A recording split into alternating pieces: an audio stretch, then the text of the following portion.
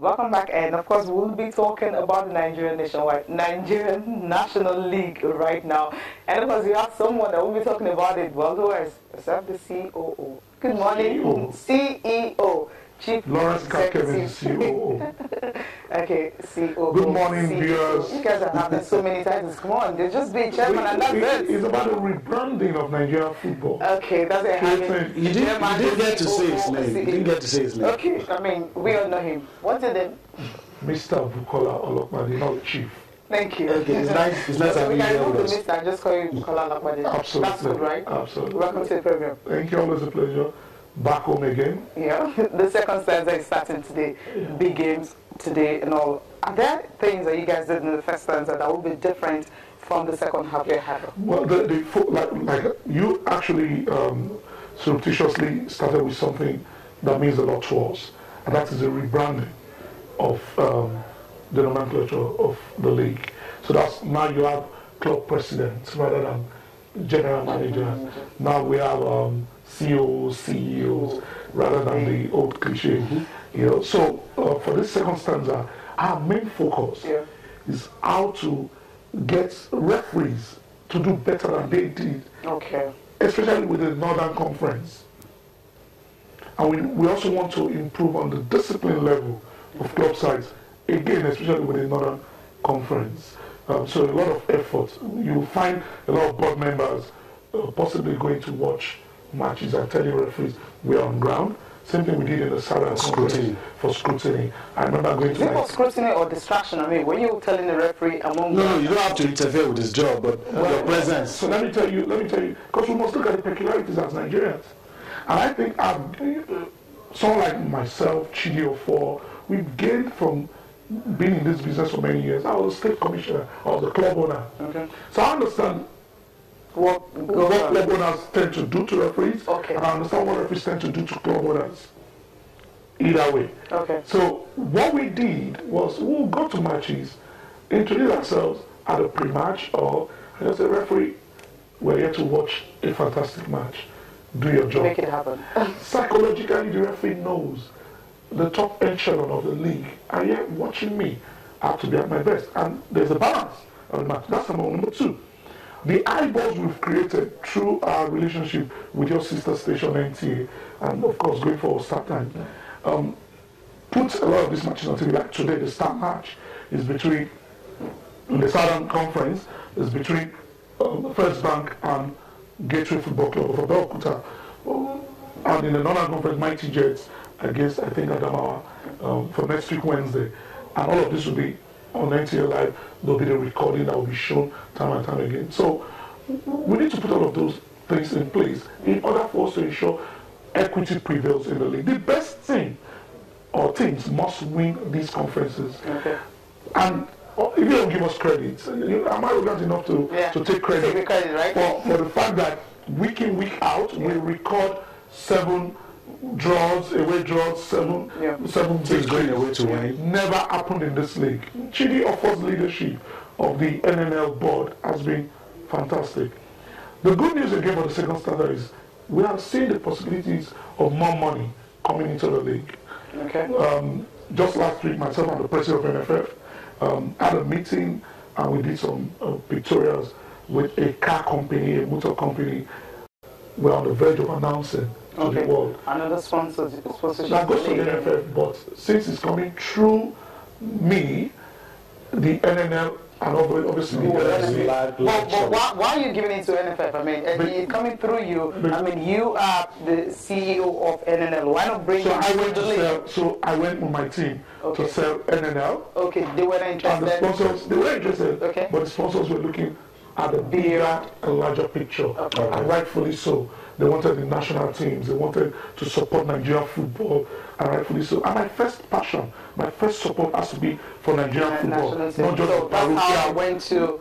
Uh, the, and the president okay. was good. I called him up at the meeting with the president of the motor company. I called him up. He left everything was doing in 10 minutes. I mean, money is coming in. Come on, you have to be there. We understand that. Those are the sort of um, uh, attitude that we need Okay. uh, for, for, for our football, for sports. Because let me ask you this. I'm very sure you've heard this a lot, a lot of times. And you look at these clubs you're playing. So someone wants to ask you, what is the incentive? Because you hear a lot of complaints, but now that we are hearing that things are flowing in, so what's the incentive to for these clubs to play in the league, keep the players together, and you know not have issues of abandoned games and all that? I think that's a very good question. But you must remember that the NNL started from the value of zero Of course, there was nothing to start with. So now that we have eyeballs, we have um, we must give credit to the previous administrators like um, Akiwumi, like I Chief Emeka Inyama, for the sort of platform and foundation that they, they put in place for us to leverage on. I, I must confess to you that even the deal with Bet9ja, because it's the Bet9ja, Niger National League, even the deal with Bet9ja started with those two gentlemen leading the boards. The, we came in due to relationships and perseverance. We got it sorted out.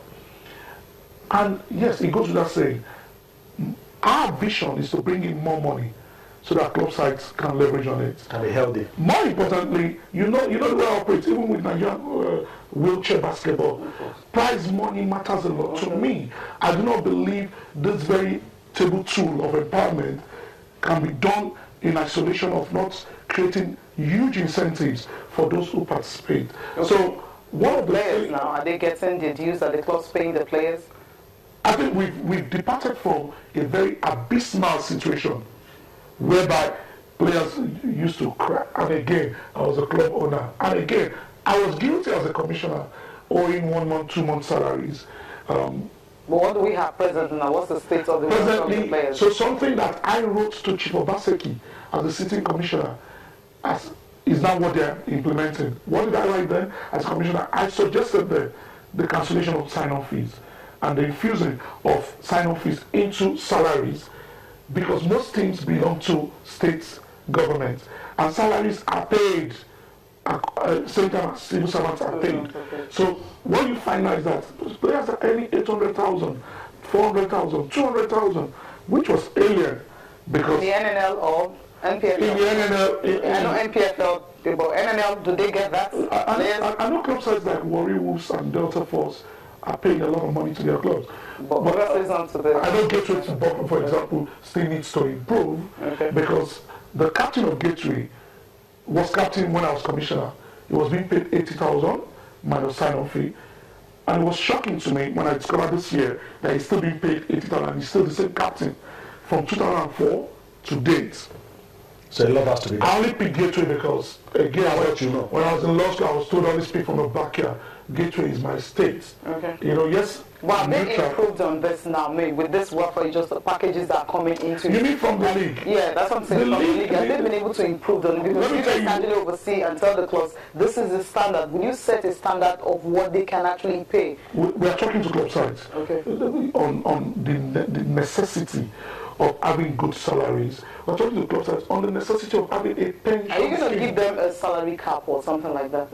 Look, You we cannot enforce that. that, okay. But guess what? We're, we're working on pension scheme. For example, we have been talking for two years now, my company Nilayo, on behalf of LMC and NFF, for a pension scheme, a 2.5 million uh, dollar pension scheme a year.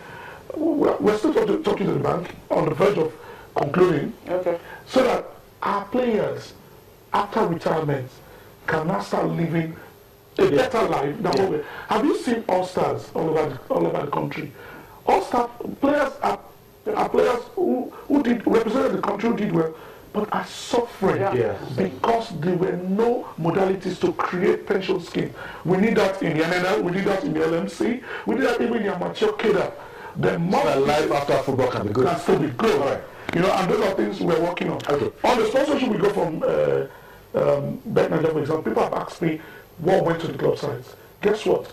We stopped the club sites from paying referees indemnity. So that means each club, at this stage, you'll be saving close to 300,000 every week. It frees them from that responsibility. I'm not That going goes- that, I that should go freedom towards you the- to do whatever I want. creating a good welfare for your players.